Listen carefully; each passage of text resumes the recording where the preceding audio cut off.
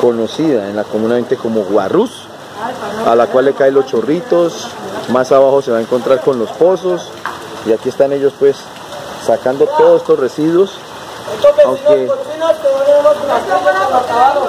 nos parece que los residuos y las quebradas impactadas, la quebrada, los chorritos, donde más escombro y material de arrastre se encuentra.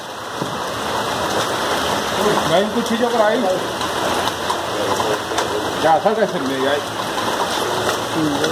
Tienen que hacerlo con lazo. En algunos puntos vienen los lazos. Una de las quejas de los líderes es que cómo van a arrastrar el, el, costal, pues no hay otra manera. Me parece a mí que no hay otra manera de que ellos lleven estos residuos. Y porque dejaron ese residuo aquí sobre el andén, pues ya la Junta de Acción Comunal del Cortijo está brincando porque le dejan esta agua aquí sobre el andén. Pues es complicado porque ellos están sobre una quebrada y necesitan lógicamente sacar el costal.